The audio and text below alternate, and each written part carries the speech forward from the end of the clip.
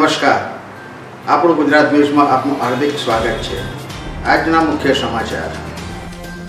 બનાસકાંઠા દિયોદરથી અમારા સંવાદદાતા રઘુભાઈ નાએ જણાવે છે કે, દિયોદર પોલીસ દ્વારા સઘન ચેકિંગ કરવામાં આવી રહ્યું છે.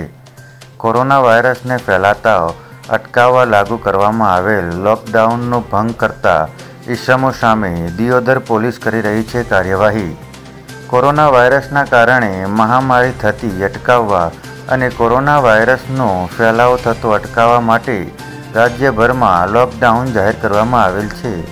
જે અનુસંધાને બનાસકાંઠા પોલીસ અધિક શ્રી તરુણકુમાર દુગ્ગલ સાહેબ દ્વારા લોકડાઉનનો ચુસ્તપણે અમલ કરાવી રહ્યા છે.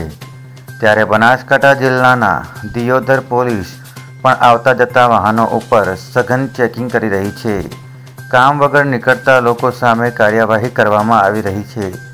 જો કે દિયોદરમાંથી નીકળતા વાહનોને અટકાવી ડિટેઇન કરવામાં આવી રહ્યા છે દિયોદર પોલીસ દ્વારા ખીમાણા ચોકડી શિહોરી ચાર રસ્તા આરામગૃહ મેન બજાર દિયોદર રેલવે સ્ટેશન ભેસાણા ચોકડી દિયોદર જેતડા રોડ સહિત વિસ્તારમાં દિયોદર પોલીસ દ્વારા સઘન ચેકિંગ કરવામાં આવી રહ્યું છે જો કે દિયોદર આઈપીએસ અભય સોનીએ જણાવ્યું હતું કે બનાસકાંઠા કલેક્ટરશ્રીના આદેશ અનુસાર પ્રસિદ્ધિ કરાયેલા જાહેરનામાનું દ્વારા આગામી ચાર દિવસ લોકડાઉન વધુ કડક કરવામાં આવ્યું છે.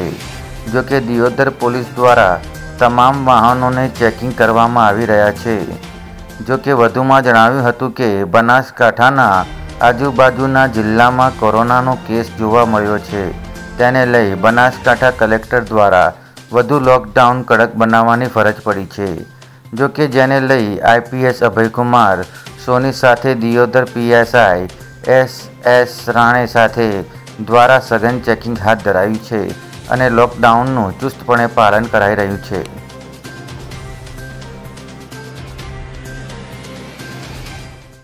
आज से 11 तारीख से 14 तारीख जो चार दिन बचे हैं लॉकडाउन के। इस दौरान हमने बहुत ही कड़क कार्रवाई रखी है और कलेक्टर साहब के जो आदेश है उसके हिसाब से अभी जो लॉकडाउन की जो कंडीशन है, जो 144 की कंडीशन है, और भी स्ट्रिक्ट हो जाएगी। हमने सभी प्रकार के मूवमेंट बंद कर दिए हैं। बाइक पे सिर्फ़ एक ही पर्सन अलाउड है और वो भी इमरजेंसी कंडीशन में। कार में सिर्फ़ दो ही व्यक्ति अलाउड है और वो भी वो भी कोई हेल्थ या इस तरीके की कोई अगर बहुत ही ज़रूरत या फिर कोई जीवन ज़रूरत चीज़ों के लिए उनको निकलने की ज़रूरत पड़े तो। इसके अलावा हमने जो इवन मेडिकल शॉप्स है, वो भी एक विस्तार में सिर्फ़ एक ही मेडिकल शॉप खुलेगी। तथा सभी प्रकार की जो किराना तथा परचूनी की जो भी दुकान है उसको बंद कर दिया जाएगा। बैंक तथा इसमें भी जो बैंकिंग कॉरेस्पॉन्डेंट हैं, उनके थ्रू पैसों का डिस्ट्रीब्यूशन किया जाएगा और बहुत, वो भी बहुत सीमित तरीके से किया जाएगा ताकि किसी तरीके की भीड़ वहाँ पर ना हो। हमने गाँवों में भी इस तरीके का बंदोबस्त किया है। एक स्पेशल कंटेनमेंट टीम बनाई गई है, जो कि लंबे समय से काम कर रही है। गाँव में अगर कोई भी आदमी किसी भी शहरी विस्तार से या बाहर से, ज़िले के बाहर से आता है तो उनको होम क्वारंटाइन कर दिया जाएगा सबसे पहले। और अगर इवन ज़्यादा लगता है कि वो किसी संभावित कोरोना संक्रमित संभावित क्षेत्र से आया हुआ है तो हम उसको यहाँ पर आइसोलेशन यूनिट जो हमने बना रखी है आदर्श स्कूल में, वहाँ पर रख देंगे। बनासकांठा ज़िले में अभी सबसे ज़्यादा इंपॉर्टेंट लॉकडाउन की कंडीशन इसलिए रखी गई है क्योंकि बनासकांठा के आसपास जो तीनों डिस्ट्रिक्ट है, पाटन, महसाना, साबरकांठा, तीनों में कोरोना पॉजिटिव पाया गया है। तो किसी भी प्रकार का बाहर से अवर जवर बनासकांठा डिस्ट्रिक्ट के लोगों के लिए संक्रमण फैलने की संभावना ला सकता है। इसलिए हम लोगों ने सभी प्रकार की स्टेप सभी प्रकार का काम हम कर रहे हैं कि इसके संक्रमण को किसी भी तरीके से रोक सकें।